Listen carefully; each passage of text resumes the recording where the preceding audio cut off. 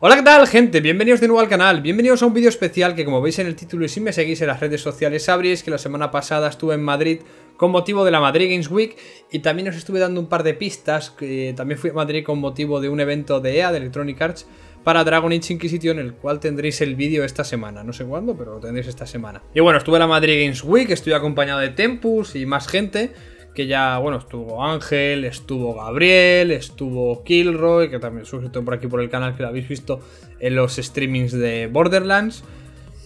Y esta, este año la feria está bastante bien, a mí me ha gustado bastante, estuvo, pudimos probar Battlefield Hardline, aunque Battlefield Hardline ya lo pudimos probar en la beta, eh, no era nada nuevo, bueno, sí, el mapa, pero digamos que yo ahora no estoy tan entusiasmado con Battlefield, lo veo que es un poquito más de lo mismo con más cosas.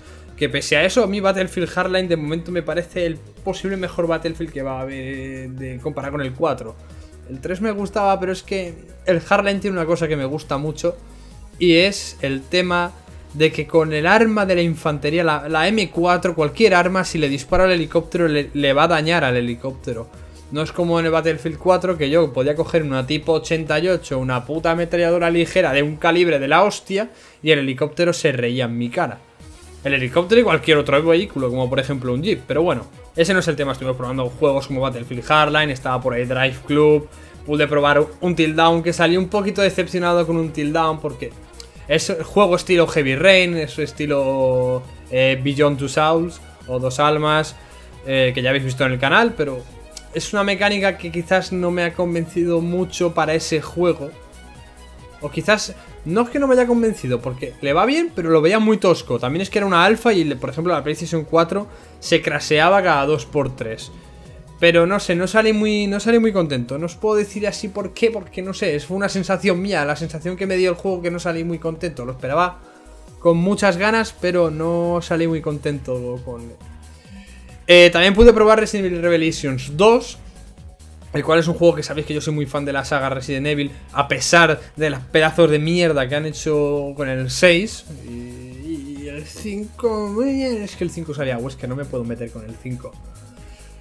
Pero pude probar Resident Evil Revelations 2, la verdad es que lo poquito que pude probar era una alfa, era un poquito bastante tosco por el tema, ya os digo, era una alfa muy primitiva, eh, aún falta mucho por pulir. Pero salí muy contento probándolo. Quitando las mecánicas, la ambientación me gustó muchísimo. Y también pudimos probar Dead Island 2, un juego en el cual tengo puestas muchas esperanzas pese a la auténtica mierda que para mí supusieron el Dead Island 1 y el Dead Island Rifted, porque me parecieron súper repetitivos y súper aburridos. De hecho, no he aguantado más de una hora jugando ni a uno ni a otro.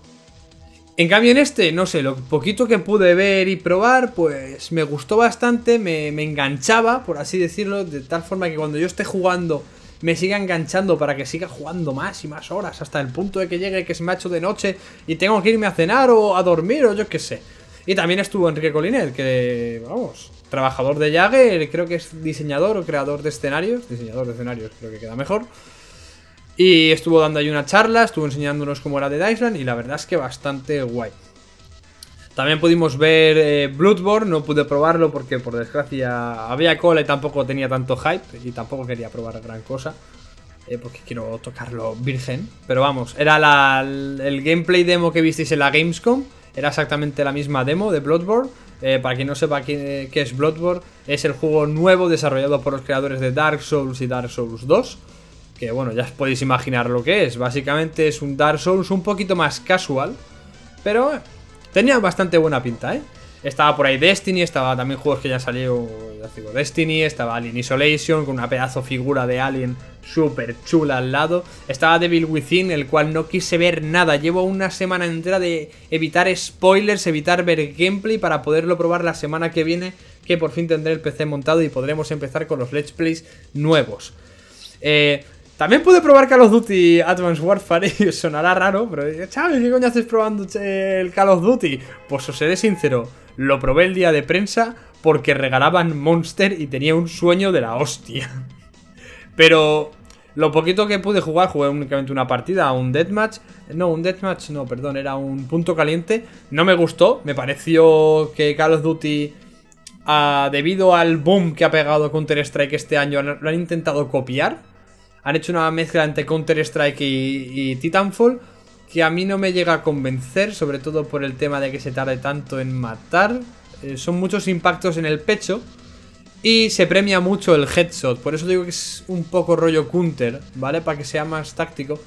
Pero no sé, no salí muy contento, no salí muy esperanzado de probar el nuevo Call of Duty y seguramente pase de él. Todo lo contrario con Battlefield Hardline, que salí contento, entre comillas y tengo ganas de probarlo. También pudimos probar el Evolve, el cual lo pudimos disfrutar junto a Rock, junto al Consumer, nos vino y nos dijo, ¿habéis probado el Evolve? No, pues venga, para adentro. Y la verdad es que salí muy contento con Evolve, lo había estado ignorando bastante porque me parecía un poco repetitivo, pero justo al probarlo salí convencidísimo de que ese juego era de mi estilo. Básicamente, para quien no conozca lo que se Evolve, es cuatro personajes contra un monstruo gigante. El monstruo gigante es la superchetada máxima, ¿vale?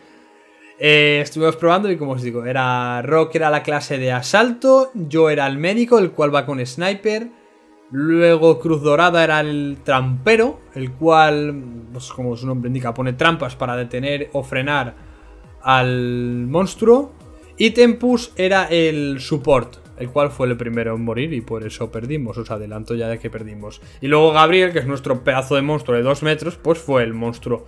Y es un juego en el cual se premia bastante el jugar en equipo. Y que si no juegas en equipo estás perdidísimo.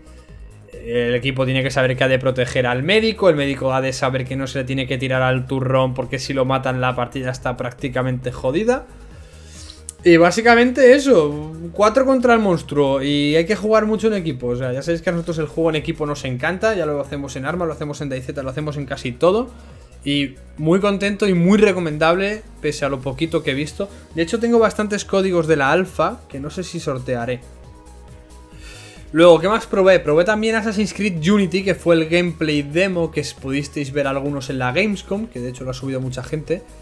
y también salí muy, muy, muy, muy, muy, muy, muy, muy, muy, muy, muy, muy contento, ¿eh? Pese a que Assassin's Creed es lo mismo, refrito y refrito y refrito y refrito, este Assassin's Creed Unity lo noto más Next Gen comparado con el 4, pese a que el 4 a mí es de mis favoritos, quitando las partes de los barquitos que no me convencían mucho.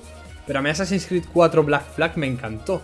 Y este, lo poquito que pude probar, explorando el mapa, viendo el tema del parkour, viendo el tema de probar los interiores, viendo la cantidad de IA que hay en pantalla, la variedad de ataques.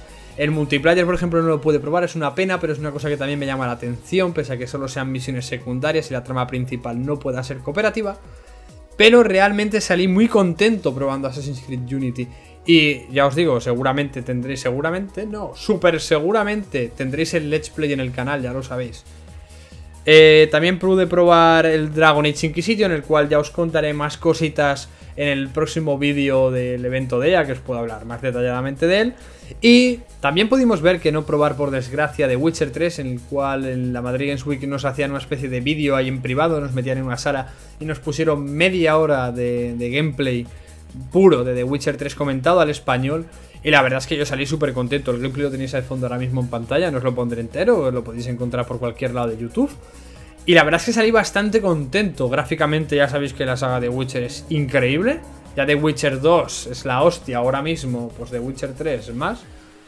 Y jugablemente me parece una maravilla. Eh, tengo bastantes ganas de que salga. Eh, sale en febrero, el 24 de febrero o el 4 de febrero, no estoy seguro.